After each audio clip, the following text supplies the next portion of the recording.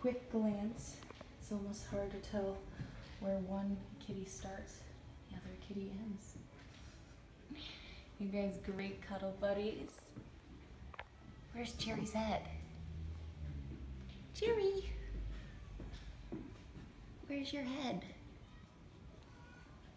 Pony boy, where is her head? Where is it? Oh, there it is. so Kitty's doing well. The princess has an extra large skybox and so they're very, very comfortable sharing this one. Plenty of space for both of them to stretch out and uh, snuggle too. All right, guys. Just a quick little hello and uh, trying to catch all their cute little moments. Kitty mail.